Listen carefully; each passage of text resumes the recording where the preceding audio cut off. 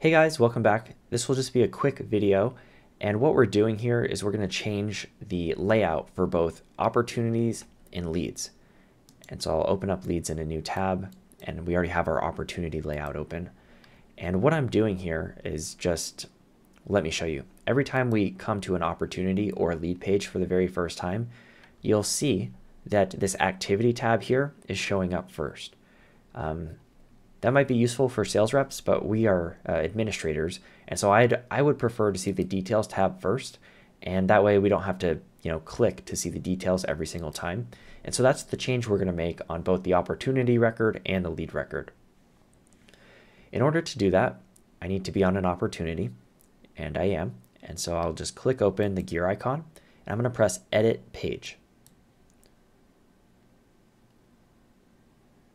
And this takes us into the lightning record page for the opportunity. And we're going to click on this main tab component here in the center. I'll just get rid of these notifications. And you can see that our default tab setting here has activity selected as the default tab. I'm going to change that to just be the first tab in the tab series. And then I'm going to switch the details tab and the activity tab so that the details tab is first and the activity tab is second. I'll press save. And because this is the first time we've worked with this page layout, um, we'll need to activate it and make it visible to your users. So I'll press activate.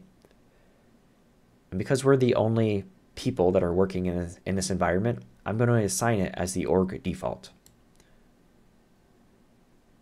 I'll press next and save. And so what this has done is now that anytime we go to an opportunity, this will be the layout that we see. And I think it saves when you activate it, but I'm just going to press save again. See changes saved.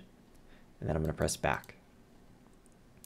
And now we're going to go re repeat this process, but just do it on the lead object so that anytime we navigate to an opportunity or to a lead, uh, we see the details first and we don't have to spend the extra time clicking. So I previously opened up a lead tab. Um, if you haven't done that, feel free to just click on the lead tab and then open up any lead in the system. And just as we did before, I'm going to click the little gear icon and I'm going to press edit page.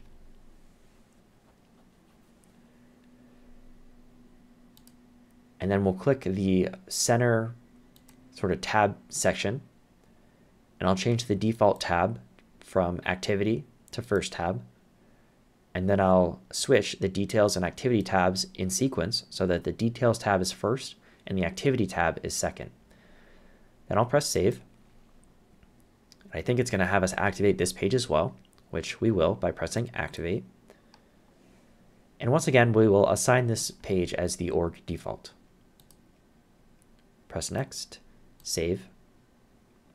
And we see that the activation settings were changed and I'll just save again, which you probably don't need to do. And then I'll press back.